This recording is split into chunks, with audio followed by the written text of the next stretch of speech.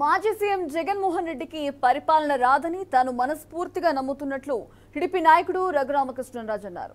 హైదరాబాద్ నుంచి ఇండిగో విమానంలో ఆయన గన్నవరం విమానాశ్రయానికి చేరుకున్నారు. గతంలో ఉన్నది బ్యాడ్ బుక్ పాలన అని ఇప్పుడు నడుస్తున్నది గుడ్ బుక్ పాలన అని గతంలో నిధులన్నింటినీ జగన్మోహన్ రెడ్డి దారి మళ్ళించారని ఇప్పుడు ఎన్ఆర్జీఎస్ నిధులతోనే పల్లె పండగ కార్యక్రమం నిర్వహిస్తున్నట్టు తెలిపారు. గతంలో చేసిన అప్పులను ఒక్కొక్కటి తీర్చుకుంటూ సీఎం చంద్రబాబు అమరావతిని అభివృద్ధి చేస్తున్నారన్నారు.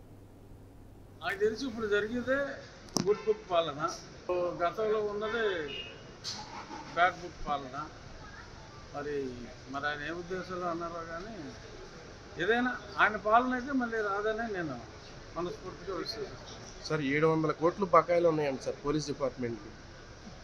పోలీస్ డిపార్ట్మెంట్ ఒకటే ఏడు వందల కోట్లు బకాయిలు ఏంటి? ఇప్పుడు విద్యార్థులకి వాళ్ళ పొద్దున్న చూసాం రెండు వేల ఎనిమిది వందల కోట్లు బకాయి ఉంది. అసలు బకాయిలు ఏంది అక్కడ హోమ్ మినిస్టర్ గారు కాబట్టి ఆవిడ బకాయిలు వాళ్ళ స్టాఫ్ బకాయిల గురించి ఆవిడ మాట్లాడుకుంది.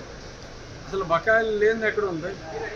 సుమారు లక్ష యాభై వేల కోట్లు వేరియస్ కాంట్రాక్టర్లకి అందరికీ చెల్లించవలసిన బాధ్యత ఇప్పుడు గుడ్ బుక్ పాలనలో ఉంది. అంటే అతని దృష్టిలో అతను ఏం చేస్తారు గుడ్ బుక్ కానీ ఇప్పుడు అంత బాధ్యత ఇప్పుడు ఈ నూతన ప్రభుత్వం మీద ఉంది. ఒక్కొక్కటి ఒక్కొక్కటి. అప్పులు తీర్చుకుంటూ వస్తున్నారు. అలాగే పల్లె పండుగ అని చెప్పి ప్ర- ప్రభుత్వ నిధులన్నీ పక్కన మళ్ళీ ఇస్తారని పల్లె పండుగ ఎన్ఆర్జిఎస్ వచ్చిన నిధులు సక్రమ వినియోగంతో నడిచేది పల్లె పండుగ.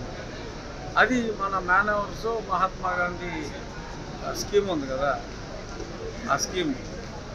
ఆ స్కీమ్ ప్రకారం మన రాష్ట్రానికి వచ్చే నిధుల్ని గతంలో ఈయన దారి మళ్ళించేవాడు.